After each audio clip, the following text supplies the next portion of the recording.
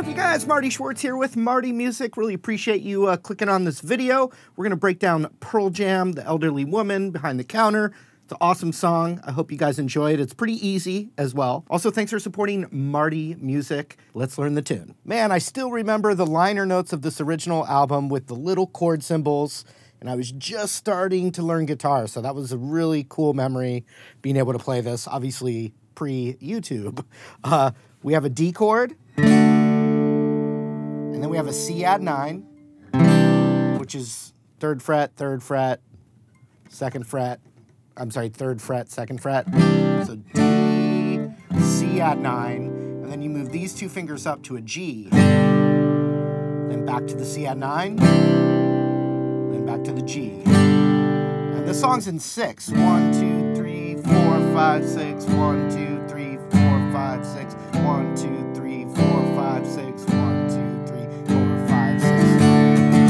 going down, down,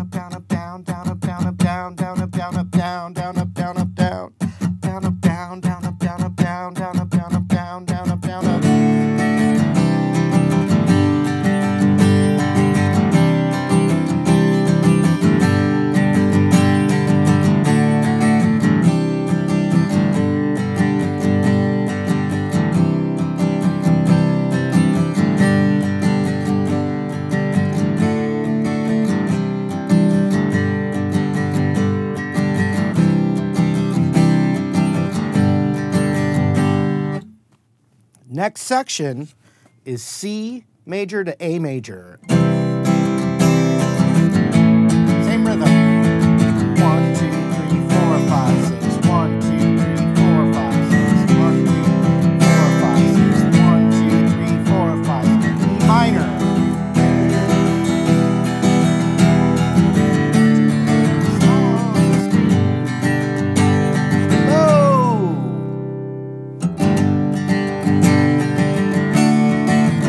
right? So that's everything for the song. So you got the main part. Then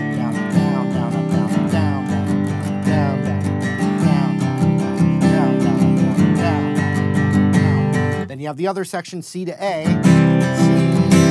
C.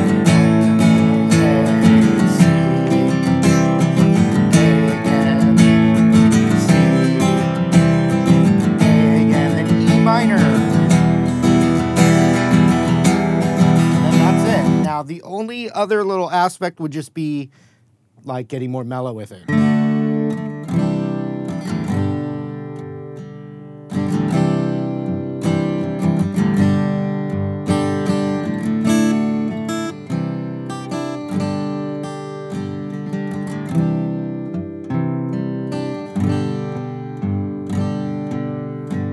All right, I hope you enjoyed the lesson. Once again, really appreciate your support. You can leave your requests in the comments below while you're down there. Don't forget to like and subscribe right here to Marty Music. And thank you again for the great support. Hope to see you later.